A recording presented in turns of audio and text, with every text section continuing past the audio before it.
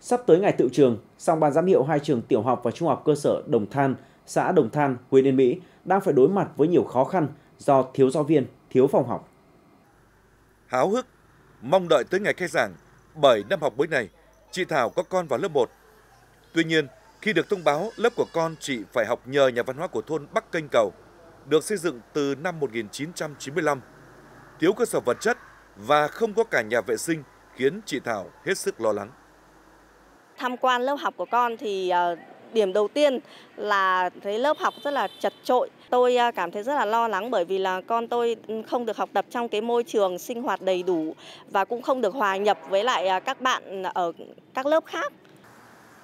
Tình trạng thiếu phòng học và phải đi học nhờ nhà văn hóa ở các thôn không chỉ xảy ra ở năm học này mà đã diễn ra từ nhiều năm nay. Có những năm trường tiểu học Đồng Than có tới 6 lớp phải đi học nhờ nhà văn hóa của cả 6 thôn. Trường có gần 1.300 em học sinh, như vậy cần phải có tối thiểu 37 phòng học. Tuy nhiên, trường hiện chỉ có 18 phòng học và các phòng này đều xuống cấp. Trời mưa thì cả một cái tầng 2 dãy trên của nhà hiệu bộ rột như là ngoài trời, chúng lênh láng nước. Khắc phục thì chúng tôi phải căn cái thời gian sắp xếp cái lớp học so le nhau. Các lớp học luân phiên nghỉ và cái thời lượng học bình thường là các lớp phải học 9 buổi đến 10 buổi trên tuần. Nhưng mà chúng tôi chỉ tổ chức được 7 buổi trên tuần. Và cái lượng tiết học ở trên một ngày chúng tôi phải căng lên. Còn những cái tiết học mà ví dụ như hoạt động ngoài khóa hoặc những cái tiết ờ, chương trình khác thì chúng tôi không thực hiện được.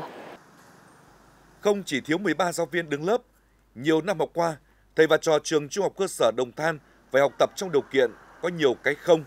Không có phòng làm việc của ban giám hiệu, không có phòng của tổ chuyên môn, không có phòng y tế học đường, không có phòng chức năng, không có nhà đa năng và sân tập luyện. Bởi các phòng đều phải dành để làm phòng học cho học sinh. Trung bình mỗi năm, trường có khoảng 1.000 học sinh, cần có 23 phòng học. Tuy nhiên, trường hiện mới có 17 phòng học. Nhưng phòng làm việc cho học sinh, ban giám hiệu phải tận dụng nhà cấp 4 đã quá niên hạn sử dụng làm nơi làm việc, làm phòng họp.